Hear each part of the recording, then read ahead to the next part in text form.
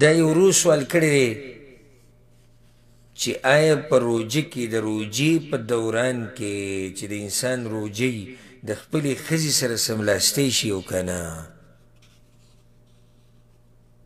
یعنې د ښځې او د خاوند روژه ده یا داسې ووایو پرې چې مسله ښه واضح شي د ښځې د روژه نه وي که نه او د سړي روژه ده دواړو حالاتو مسله زه بیانوم که د دواړو روژه وي او که صرف د خاوند روژه وي او د ښځې نه وي نو بالکل جایز دي چې دوی د یو بل سره سم لي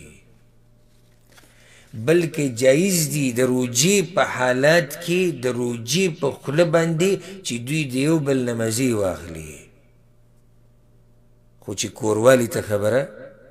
ونه رسي بس تک احتیاط وکړي نور موږ سره حدیث ابلوز بغه دوره کې تیر شو په صحیح بخاری صحیح مسلم کې د حدیث ته د عائشه رضی الله عنها کان النبي صلی الله علیه وسلم یقبل ويباشر وهو صائم پیغمبر صلی الله علیه وسلم با د خپل بیبیانو سره مباشرت کوي مباشرت څه معنی بدن به د بدن سره لګي د کورواله تنه د مراد ځکه چې کورواله خو منه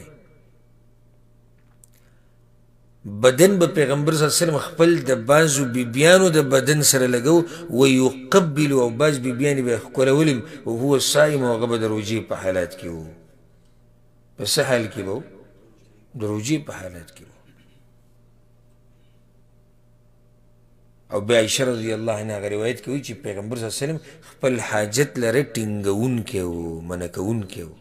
یعنی دا چې د پیغمبر صلی الله علیه وسلم خپل حاجت په قابو کې ساتو معنی دا ده که څوک په ځان یریږي نو هغه له بیا نه ده پکار ها یو سړی دا ته پته ده چې زما شهوت زما حاجت زما په کنټرول کې دی او خبره کوروالي ته نه رسي نو بیا هیڅ خبره نه ده که دی د دې ښځې نه هر قسمه مزه اخلي هغه ترې اخیستی شي هېڅ خبره نه ده یو سړی وایي یاره دا څنګه روژه ده او دا ده او دغه نو